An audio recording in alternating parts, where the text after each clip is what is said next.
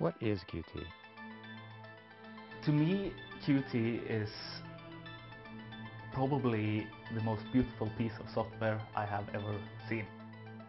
When we uh, built Qt up through the years, we wanted people like us, the programmers, to look at this and see, okay, this is something I like. This is intuitive, this is done right, this is, this is the way it was always meant to be. And uh, I think we achieved that pretty, uh, pretty well. Qt is the only multi-platform C++ application framework that lets you write one source tree that will run natively on Windows, Linux, Unix, Mac OS X, and embedded systems. When you want your code to run as a native application on another platform, all you have to do is recompile. Try doing that with MFC or with Java. In fact, try to do that with any other framework, and you find yourself wondering, what happened to the creativity in this job? I mean, there's more to developing software than just hard labor, isn't there? Developing software for me is art because I want to be I want to be perfect. I want it to be perfect and I want it to be not only fulfilling the task is what it was supposed to fulfill, but really to do it the right way. And there are not so many right ways if you are writing software. There are a limited number of right ways. One of the beautiful features of Qt is the ability to concentrate on the important issues of the application code and do away with all the horrible low-level stuff. The most important thing we have achieved with, with Qt is exactly this, that you, the components that you need are there.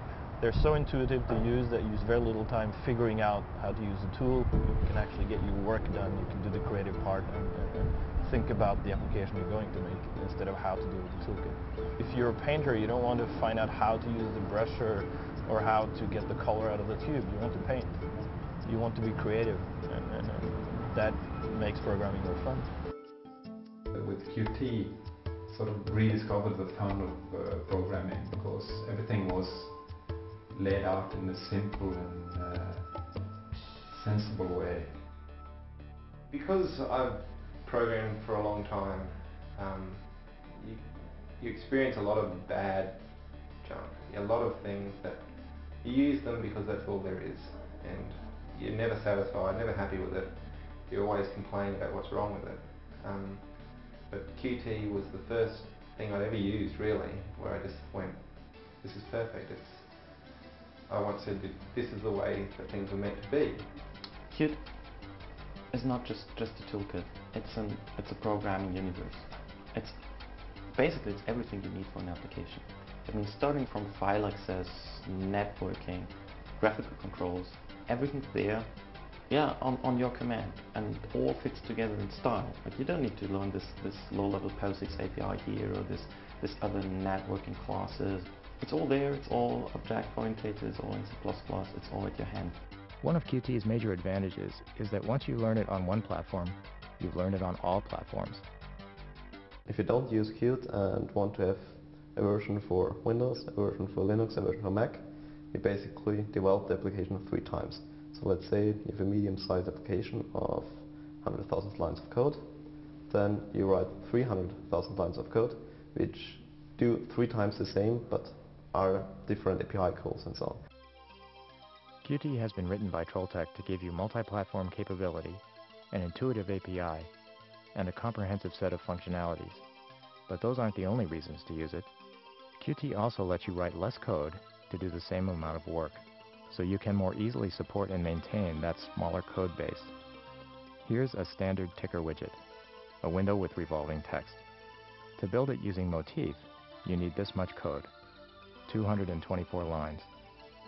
To build in an MFC, you need to write slightly less, 164 lines. But look at Qt. You need only 61 lines of code. This is an obvious advantage in simple productivity, but it yields even larger benefits downstream.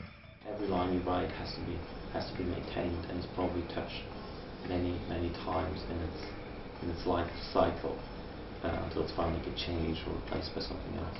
So just just duplicating the source tree for a project, I mean, it, it may work for some companies in, in a very short run, but eventually it will, it, it will simply kill you. In addition to reducing maintenance, Qt3 lets you extend your applications in three very useful ways. You can write multi-platform applications with database capability. It opens up um, a whole possibility of building cross-platform database applications which doesn't really exist in any other toolkit.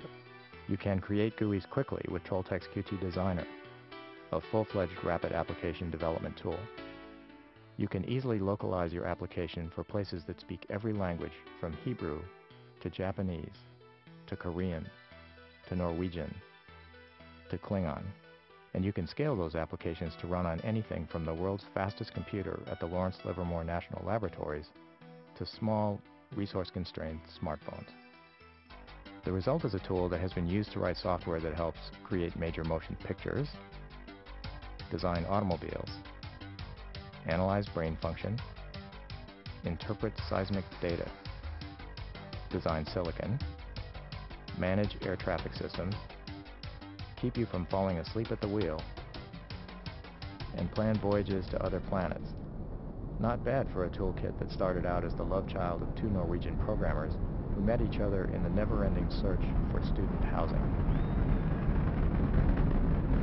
When I first came there, the other guys were, were showing me around, introducing me to, to the place, and I asked, where's the last guy? He said, well, he, he's into computers.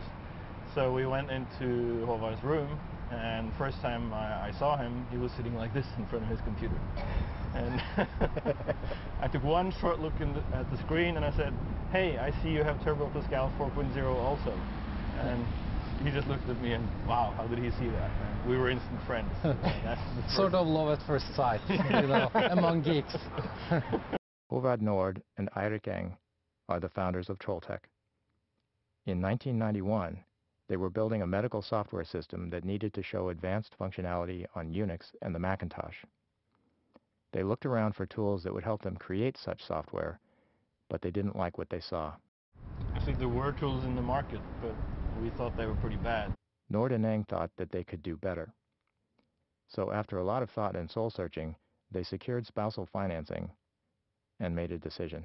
After that, I called Eirik, and you know he had been helping me in, in this project, and I said, let's let's start a company. This is when Håvard called me up and, and said, I mean, they, they're not appreciating how good you are. Uh, you're never going to get anywhere in, inside this company.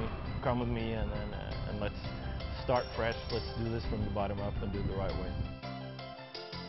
These are the number one developers from their universities, from their regions. We brought them together. We figured out that if we give them enough freedom, they will use their joy and passion in programming and create the best software there is, and they do.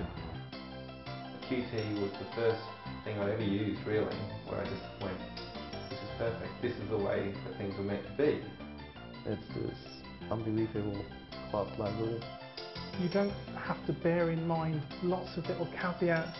It just works. It's not just, just a toolkit, it's a programming universe. People like us, the programmers, look at this and see, okay, this is something I like. And that's so gratifying to get that sort of feedback from customers saying, wow, you guys make it possible for me to only do the fun part. The idea behind Qt is to be as object-oriented, as generic as possible, to make the components we develop there as reusable as possible and as open for special needs as possible. Yeah, it's something you can fall in love with if you are a developer. I mean, in a platonic way.